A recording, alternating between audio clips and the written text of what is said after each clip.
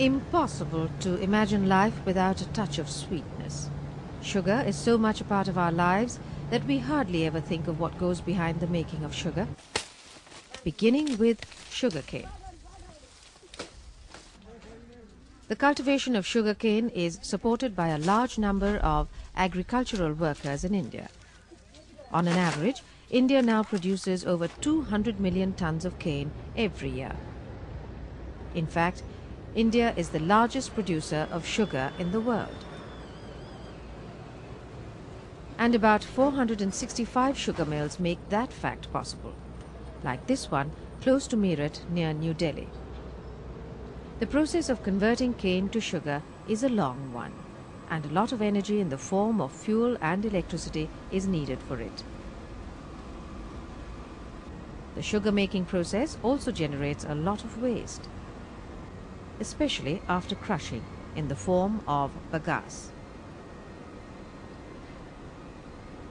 But many sugar mills like this one have evolved efficient methods where this so-called waste bagasse actually becomes a highly efficient source of energy. In this sugar mill alone, about 1,800 tons of bagasse is generated every day. The bagasse is used to produce power and process steam. 9.5 megawatts of bagasse generated power runs the entire sugar production process, with enough surplus to supply electricity to 700 houses in the neighborhood. Sugar mills are usually situated in remote areas where access to power is not easy. Such energy-efficient systems have been suitably self-serving for the sugar industries until now.